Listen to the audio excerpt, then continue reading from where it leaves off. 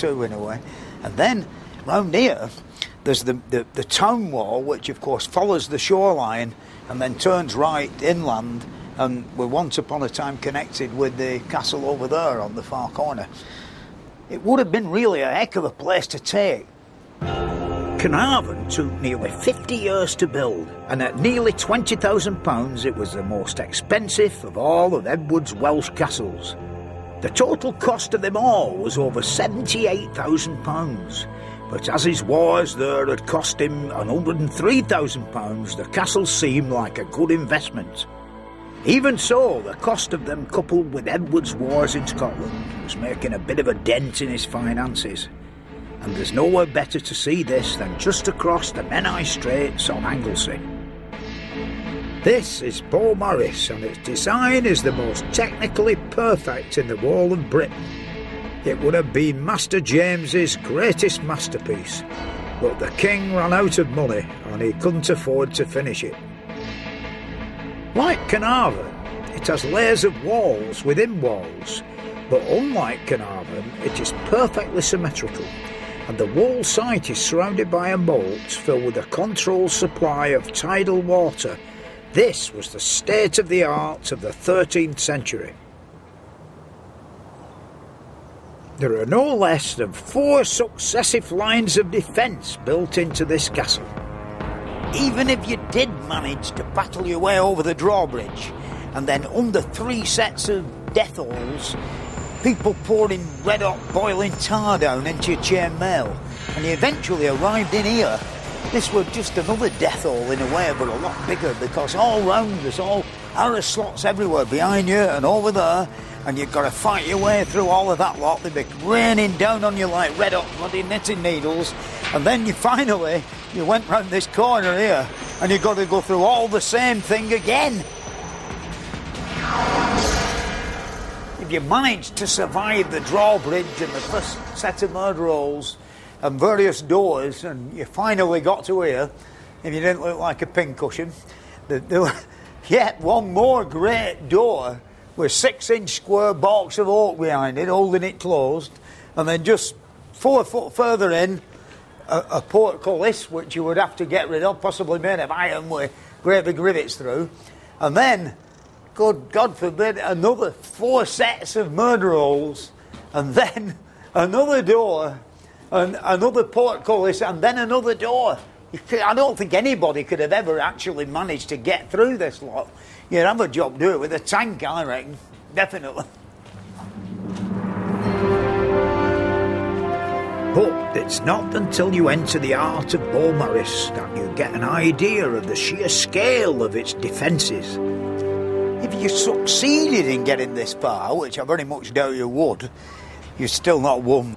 You wouldn't be able to get at the king because the rest of the soldiers would be round the walls and arrows would be raining down on you one more time. So you'd still not won. You'd got to cross the wall centre here and take the building over there with the king in it.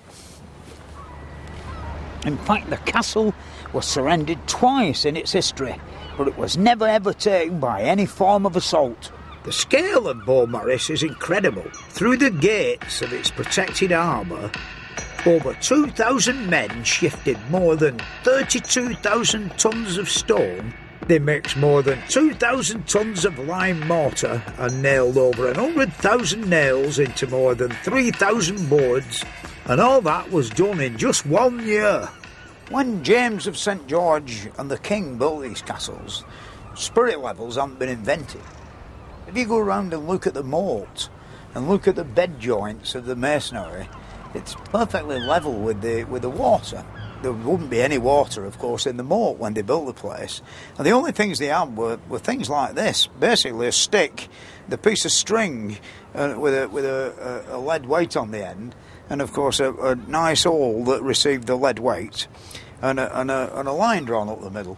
And of course, when you put it on the wall like that, if the wall is plumb, the lead weight will hang perfectly central in the in the hole. You see, if it leans, of course, you know the wall, the ball's in the wrong shot, and that's how they got everything vertical.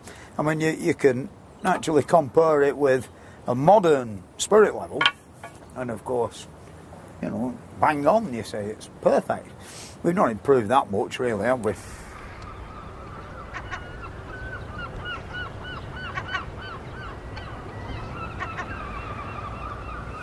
This here behind me is all that remains of the once grand gatehouse, you know, the inner gatehouse. And of course, Charles II issued orders to demolish it. As you can see, he didn't get so far, you know, he got the top bit off okay, but I think when he got to here, they must have give up, you know, I mean, no doubt they have no dynamite in them days.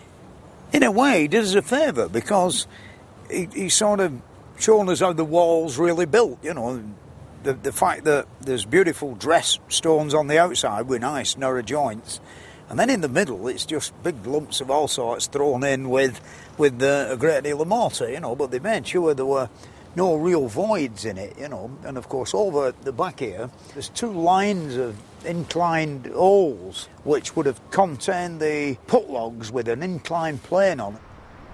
As the wall advanced upwards, they left a stone missing, stuck a piece of wood onto the top of the wall they'd already built, and then tied a fir pole or a tree trunk to the other end, and then put boards across, which, of course, to enable them to raise the materials to the top of the wall as it advanced in an upward direction.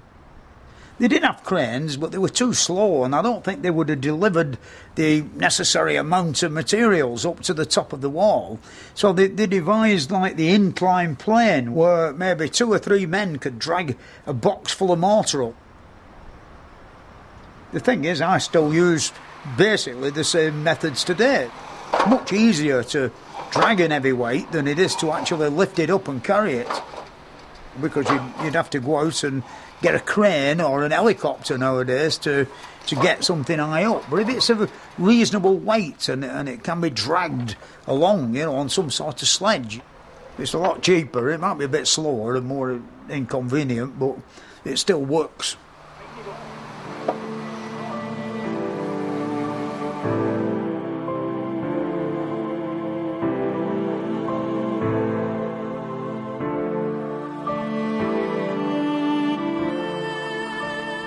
Beaumaris was never finished. It was so incredibly expensive. The king just simply couldn't afford it. I mean, when you look around and see the amount of chambers and staircases and fireplaces there are compared with the other castles, you can see the reason why.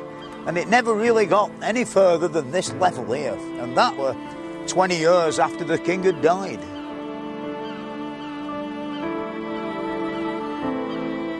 The king died in 1307, closely followed by James. Beaumaris really is a monument to the great dreams that they had. They both had the ideas of grandeur, but not the money or the time. That's the reason, really, that the thing's unfinished. Time and tide waits for no man, not even the king.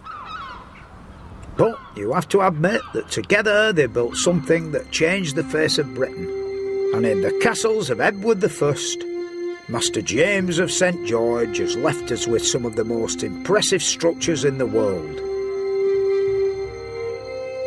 He also heralded more peaceful times. Next week, I'll be finding out how the castle gave way to the country manor house as the violent days of the Middle Ages came to an end.